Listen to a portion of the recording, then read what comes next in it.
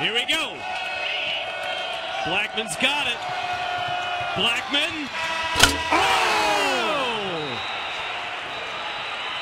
Huge for James Blackmon at the horn. And this crowd is stunned.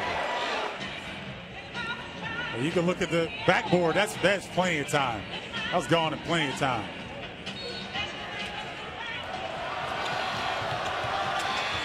James Blackmon, huge shot.